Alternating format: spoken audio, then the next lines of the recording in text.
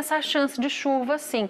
Ontem a gente tinha sim previsão de mais chuva, mas a gente continua com essa previsão aqui para nossa cidade. O que vai trazer essa chuva para cá hoje? São áreas de instabilidade que estão vindo lá da Amazônia aqui para nossa região. Esse coloridinho aqui são essas áreas de instabilidade que a gente tem por enquanto. Aproximando a nossa imagem de satélite, dá para perceber que elas ainda não estão tão nítidas, né? Mas elas existem por aqui. Outra situação que a gente tem, olha só, são quatro cidades da nossa região. A gente percebe bastante volume de chuva, 21 milímetros, tanto para São José da Bela Vista, Rifaina, no Poranga e Franca. E o que a gente pode frisar é que o calorão não dá trégua para essas quatro cidades. Olha só, 30, 32 e 28 graus é a máxima prevista entre essas quatro cidades. Previsão mantida para hoje. Lembrando também que entre essas quatro cidades aqui é a previsão de maior volume em toda a nossa região. Então, tem chance de bastante chuva